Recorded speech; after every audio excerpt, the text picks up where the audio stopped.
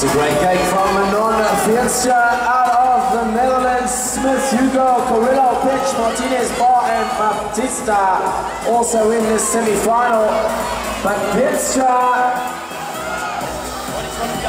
out of the second turn on fire here today.